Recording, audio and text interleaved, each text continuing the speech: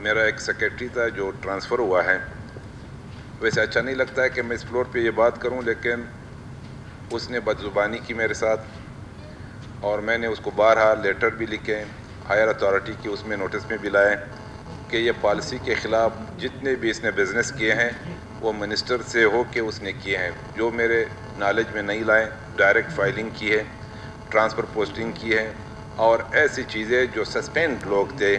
ان کو این او سی جاری کیے گئے جو میں نے خود لکھا تھا کہ آپ یہ نہ کریں۔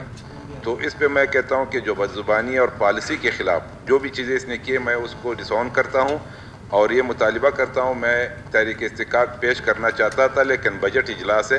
تو اس لیے میں کہتا ہوں کہ اس کی بنیاد پہ آپ ہمارے یہ جو تحریک استقاق ہے کمیٹی کے حوالے کر دیں اور ایک مکمل تحقیقات اس کی ہونی چاہیے۔ یہ ان کے ساتھ کام کرتے ہیں۔ دے آر دا گورنمنٹ یعنی آج معلوم اس طرح ہو رہا ہے کہ اتھارٹی گورنمنٹ کے خلاف بات کر رہی ہے۔